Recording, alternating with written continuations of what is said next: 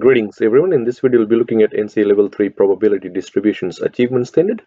In this example it says if the probability of passing a practical driving test in Auckland is 80%, uh, what is the probability that um, uh, at most four of the next eight learner drivers will pass their driving test? I've already done this uh, part uh, in my previous video. If you haven't already, please do check that one out.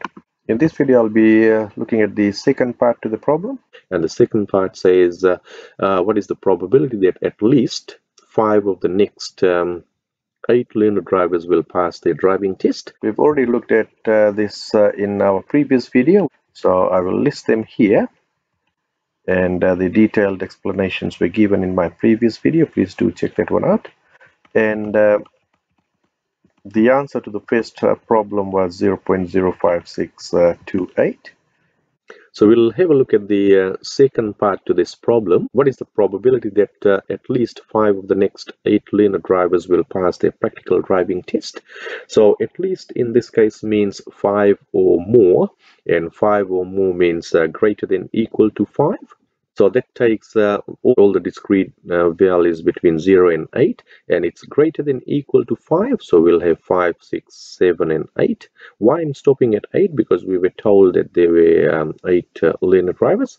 So greater than equal to 5 means 5, 6, 7 and 8. Before we use the graphics calculator, please note that it only accepts uh, less than or equal to. That's how it's programmed.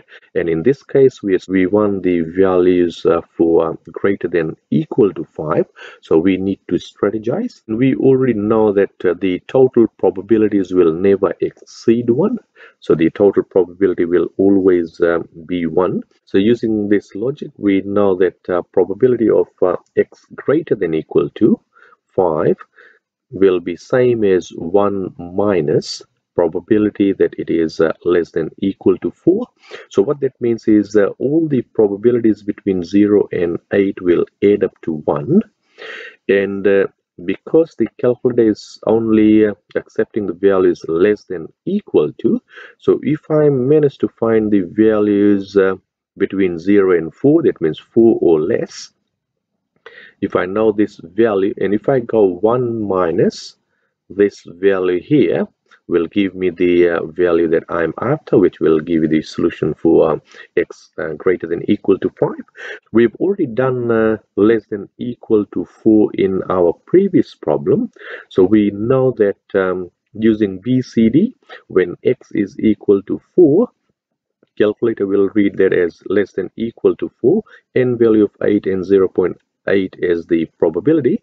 So I'll quickly show you how we can uh, use the um, graphics calculator. We'll go to um, stats mode and then we'll click F5 to select the distribution and then we're looking for binomial distribution so F5 again and in this case we are looking for a cumulative distribution um, because we are finding a full range of values and then we'll select um, BCD which is the cumulative distribution and then we'll enter the X value. In this case will be 4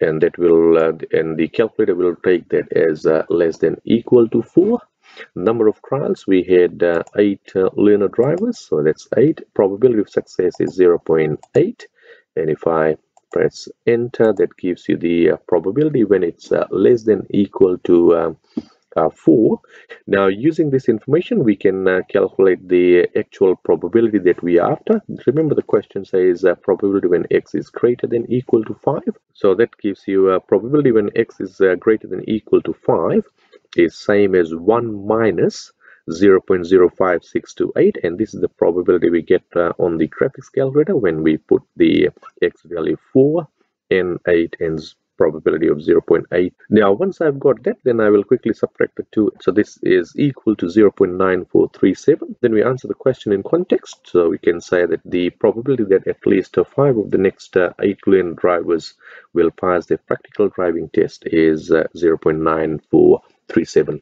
hope this makes sense. I would suggest if you can uh, pause the video and uh, try and do these uh, yourself. What you will need to be familiar with is uh, the keywords that are associated with the inequalities and also take note that um, calculator only accepts less than or equal to. So if you're finding the values which are greater than or equal to i would suggest if you can draw a number line and try and shade in the value that you are finding and that way you will be able to see what uh, x value you will need to type in on your graphics calculator when you're finding the um, actual probability. A common mistake is uh, when it says greater than equal to 5 students use x value of 5 not 4 so drawing this number line you will be able to hopefully see that 5 was included in the top interval that means that the uh, maximum x value here will be 4 thanks for watching. I'll see you guys in the next video